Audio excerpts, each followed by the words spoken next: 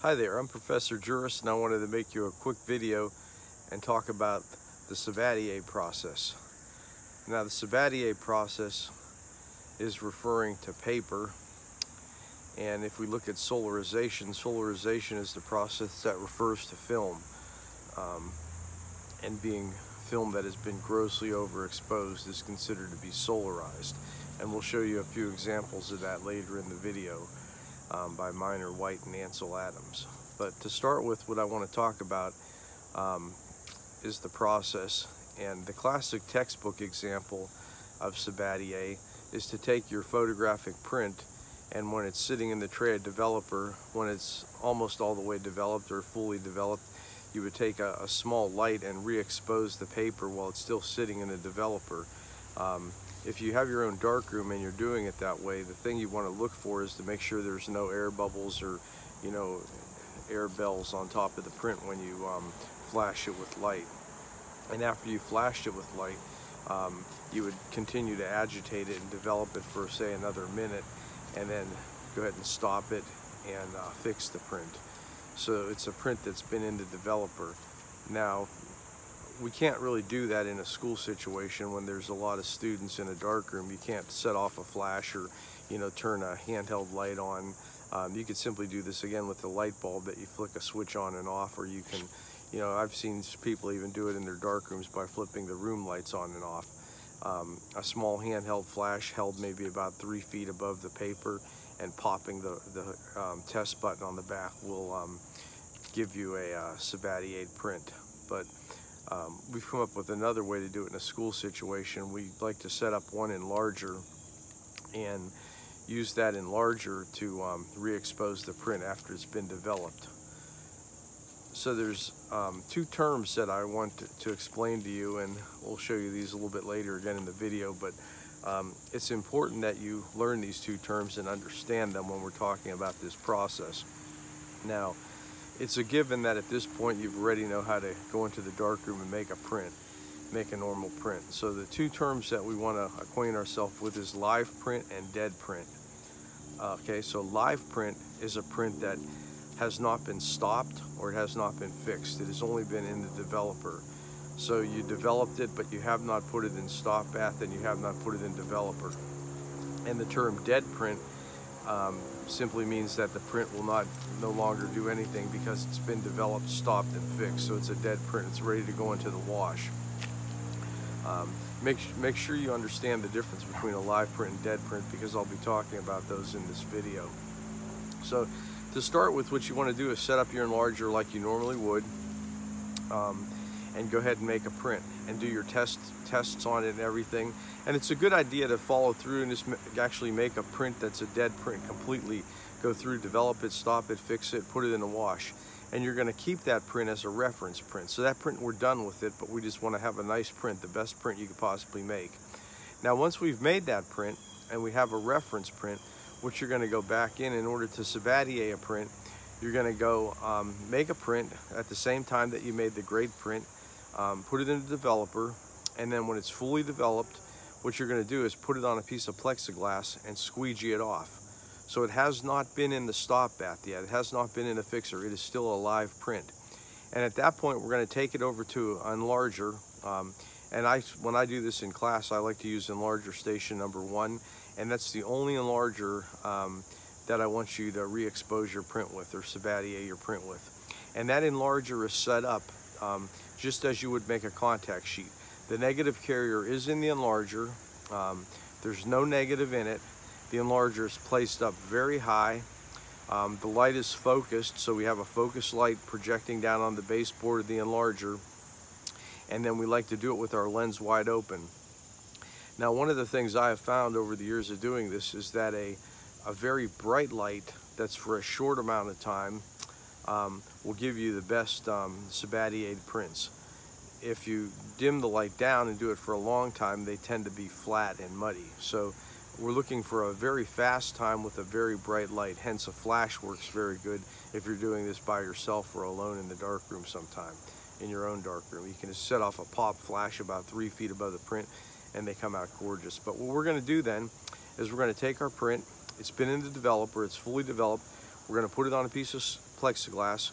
We're going to squeegee it off and then we're going to take it over to enlarger station number one where we have the enlarger all set up to say make a contact sheet. And we're going to set the timer at maybe two seconds to start with. And we're going to put our piece of plexiglass under the enlarger where we know the light's going to hit. Um, I like to put mine on an angle so the bottom of the piece of plexiglass would be here, the top would be here, so the piece of plexiglass is a little bit on an angle. And the reason I do that is um, a number of people suggest that it um, amplifies the Mackie lines in the print. And the Mackie lines are basically the, the, the lines that are created between the high contrast areas and the low contrast areas, or the high density areas and the negative and the low, low density areas. So there's a line right there and the developer will intermix in there when you're making the print and create more of a line or almost um, like what we might consider to be, but it's not, but consider it like a 3D effect. So there's a, a difference in the density than in the print right at that area where the Mackie lines are created or em emphasized is a better word. So um, what we're going to do is put it under the enlarger, pop it with light, and then we're going to take it back to the developer. We'll take it off our piece of plexiglass, um, put it in a developer, and we want to make sure we develop it for at least another minute. Now, if it turns black, excuse me, if it turns black right away, like the whole thing just gets way black, then you've given it too much light. Um, if you don't see anything, then you haven't given it enough light. So the key is with this process um, to give it just the right amount of light and then make sure you develop it for, again, at least another minute. And the reason we want to develop it for at least another minute is because we want those tones, the subtle tones, the, the dark tones, we want those all to be able to develop up. And once we've done that, we'll go ahead and stop the print then and fix the print. And then that becomes a dead print. So we're doing this to a live print.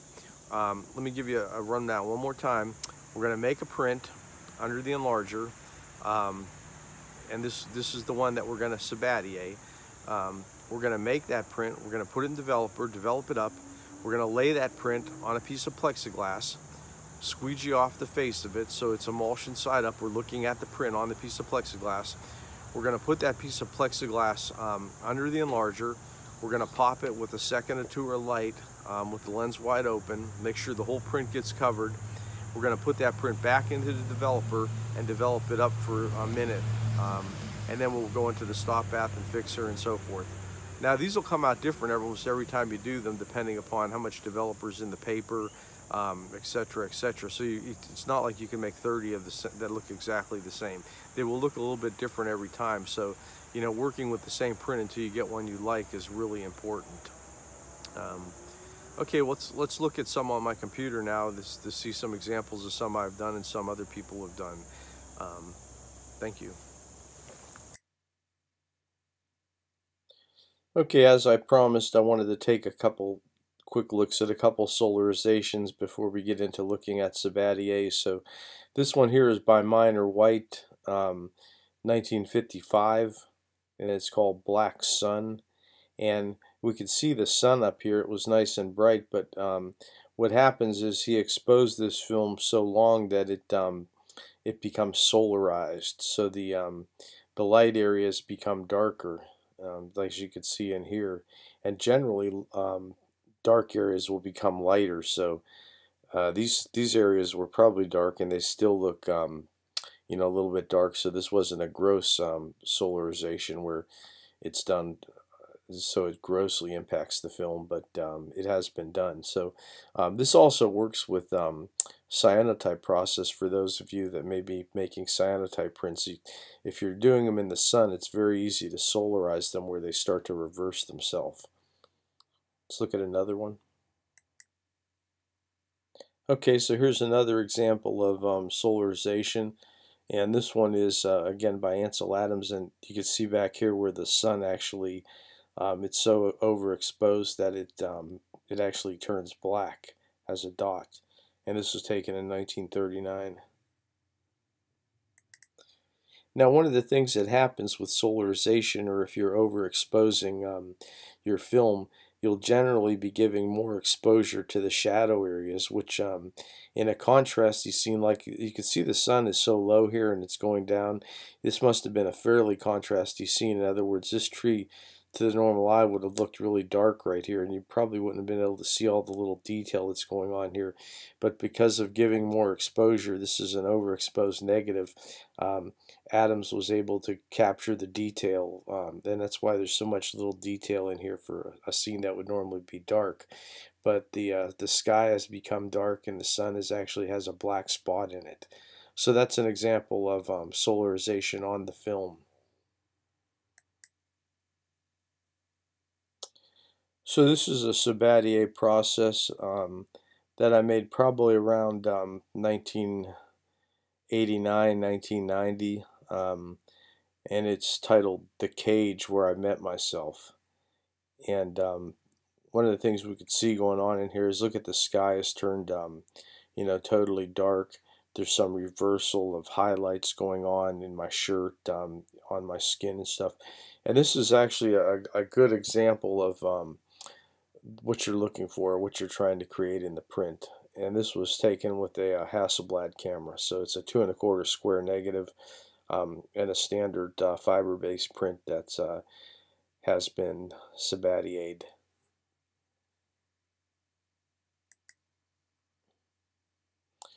Here's another um, example of Sabattier, and this was done around 1994 um, while I was finishing up my uh, Master of Fine Arts degree at The Ohio State University. Uh, this was from the series of photographs called Portraits from the Dark Lodge, and um, this particular photograph was called Eugene's Last Concerto, um, and um, taken with a Hasselblad camera. These were all printed on um, 16 by 20 paper, and they were printed as 14 by 14 size images. Now the the lines that are around here in the perimeter um, are an example of if you take a scribe, um, something that's like a sharp sewing needle, or and you work on the emulsion side, and I actually scratched away the emulsion in order to get these uh, to get these lines. Now, once you do it, you can't go back, but I just wanted to um, to show you that I did a lot of work with a, a scribe on a lot of the negatives from this Dark Lodge series, but um, just a straight up um, Sabattier print where it's uh, laid down on a piece of plexiglass, squeegeed off, and re-exposed under the enlarger. And you can see the kind of image reversal that's going on here that, um, you know, in parts of the areas my skin tones are getting very dark and some parts it stays very light. Um, so it's basically an, an uncontrolled Sabattier print. Okay, this photograph um, was titled uh, Slow Dance, and it was taken around 1984, I think, and it's done with a view camera. And um, what I wanted to do here with this um, is actually show you an example of the print um, that was made and then a print that had been Sabattier'd. Um, so the print on the left is what the normal print would look like um, when I went and made a, a normal fiber-based print, and then this is the fiber-based print where I actually re-exposed it to uh, white light under the enlarger. So you could see kind of the effects um, I really like the, the effects going on in the window blind right here and and the shadow area. I mean this this photograph looks spiritual or ghostly on the left here but um, if you add the Sabat or yeah the Sabattier to it um, notice the the way that it looks even more so and um, it has this glow going on to it and that's kind of what you're looking for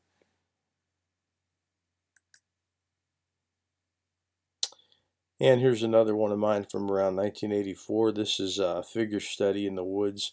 And I really like the way that, um, you know, this print came out Sabattier. It, um, the sky became very dark and the trees um, very rich. Now this print to begin with was somewhat contrasty, so it was a, a somewhat contrasty print, and that's one thing I wanted to point out in um, in this video was that, you know, working with prints that are more contrasty um, tend, I think, Sabattier um, better than a print that's just a flat print. So you, if you make when you're making your your print, you might want to crank a lot of uh, magenta in there, crank it up to a number five contrast, or if you're using graded papers, use a high grade contrast paper, and that'll um, actually help you produce prints that look more like this, where the blacks are really rich and they everything just glistens.